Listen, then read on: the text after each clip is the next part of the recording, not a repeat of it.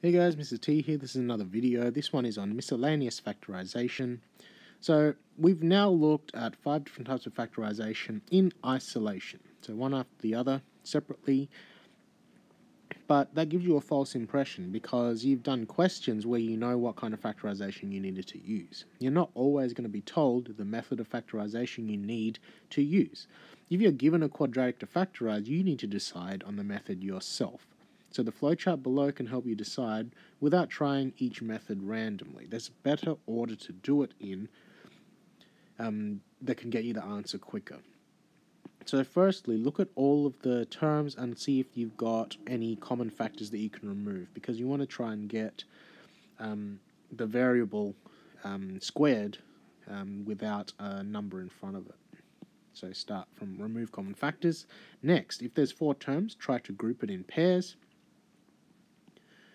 um, and factorize that way and then um, move on. And then once you've got a nice little quadratic that you're used to, try sum and product first. After that, try difference of two squares. After that, try perfect squares. Now, why do we do it in this order, unlike the impression it gives you to try sum and product last in the book?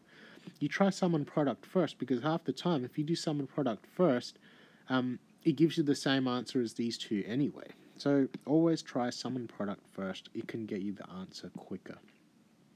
Alright, so let's apply that flowchart to these questions. I don't know what kind of factorization I need to use, so we need to decide ourselves, and the best way to do that is to apply this flowchart. So step one, remove common factors.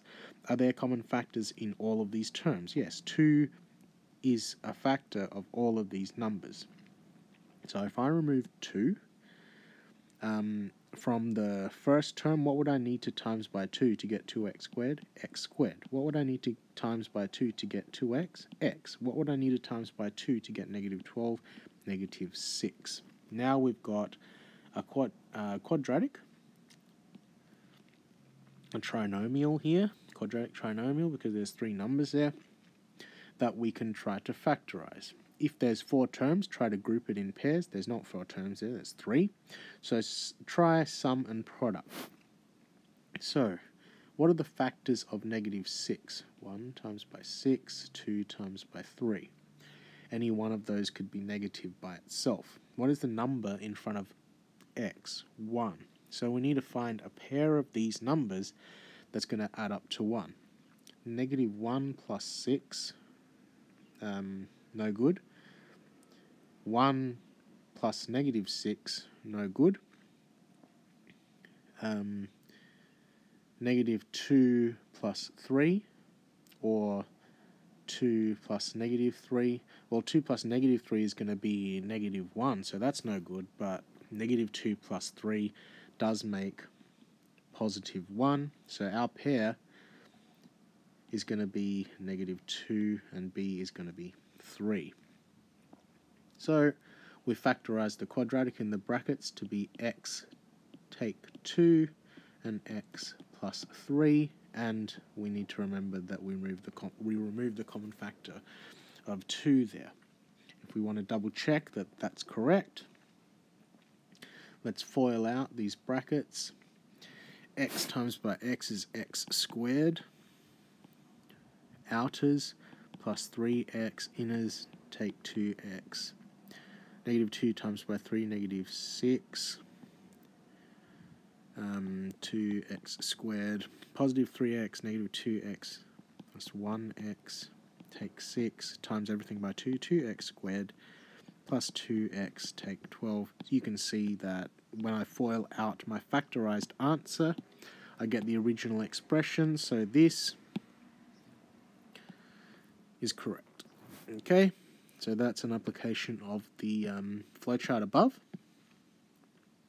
And you can see um, how using sum and product first got me the answer pretty quick. Alright, let's try the next one. So, blue, step one, remove any common factors. 3 is a common factor to all three of these terms. So put 3 out the front. What did I times by 3 to get 3x squared, x squared. What do I times by 3 to get negative 36x? negative 12x. And what do I times by 3 to get positive 108? Well, 3's into 10 is um, 3, 1 remainder, 3's into 18 is 6, so 36. So now I've got a quadratic trinomial here. We can try our factorization techniques, and I always suggest try sum and product. So what can I times together to get 36? Um, 1 and 36, 2 and 18, 3 and 12, 4 and 9,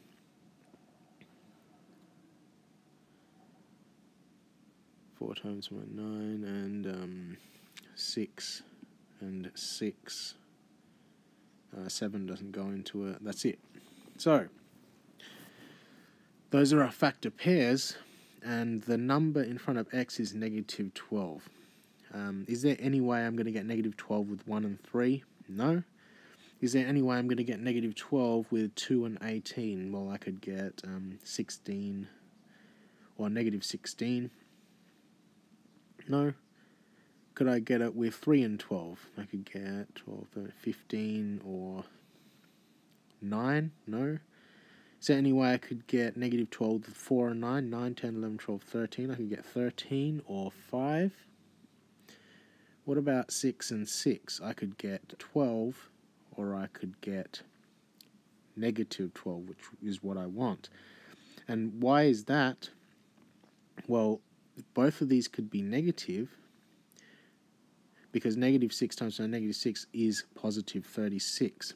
So I know my A, well, let's double check as well. Negative 6 plus negative 6. Negative 6 take 6 is going to be negative 12, so that satisfies that. So my A is going to be negative 6.